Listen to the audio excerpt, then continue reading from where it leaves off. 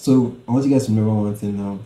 If you do your cross separation well, the dodge and burn will be sweet to do. Like now I'm looking at this image and I know I won't take time doing dodge and burn.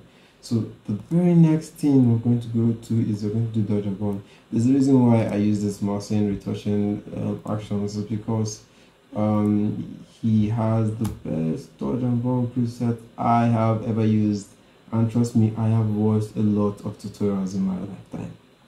In my short lifetime. Yeah yeah so it's not about how far you have gone or how long you've been in the business. It's, it's what you can do within the little time that you've been learning. Yeah so don't let anybody tell you I've been using five years to do this and I'm this, uh, it's rubbish. So let's change the flow. Let's use the flow of two to our flow and we're going to go into our video and we as a video into our picture and we're going to just be working on areas that are of excess to us. So we're going to be brightening up some nice areas and darkening some areas that we don't want. Remember it do, the dodge and burn doesn't have to be equal it doesn't mean you have to burn in the same amount of places you burn. Doesn't mean you have to make the same amount of dark places dark or like they don't have to be equal another thing you have to know is do it to the way you would like to see the image itself. Not based on what somebody else has said. And it's not a must for you to always burn the light areas and dodge the dark areas. Eh, you know sorry. Dodge the bright areas and burn the dark areas. No that's rubbish do it to how you see it. Do it till the image is looking nice. That's what we call micro dodge so i'm actually going to speed up this process itself because it might take time and you guys are not here to waste time. So that's just what i'm going to do itself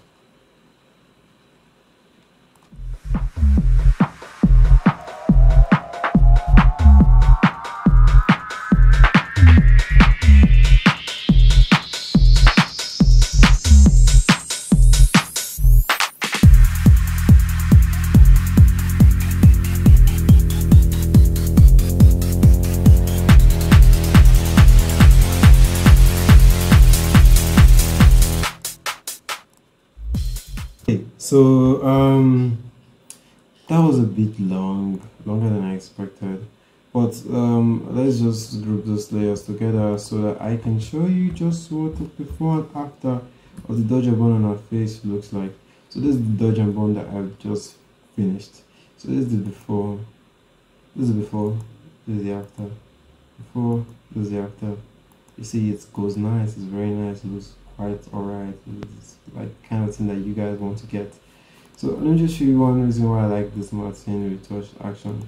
So it also has a desaturate layer for the dodge and a saturate layer for the burn because once you're pushing them, you do saturation and you gain saturation.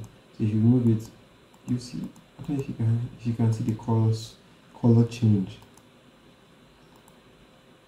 The easier is the color change if you're using just only curve tool, but that's that. Mean, now you know.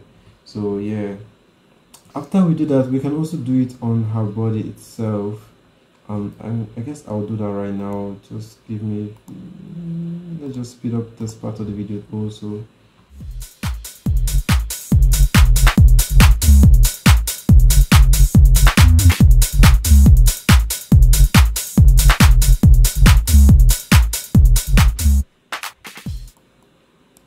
okay so you guys might be wondering what i'm doing right now is that i saw this areas and I didn't like how the texture of the skin was looking so I'm just picking out layers and I'm just moving them itself into areas that are close by so that I can have a unified texture layer.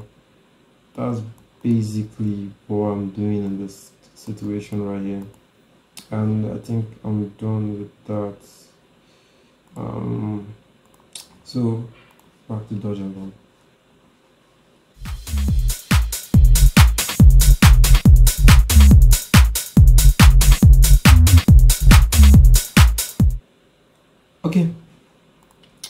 so we are actually done. Let's look at this. Look at before look at the after look at before look at the after.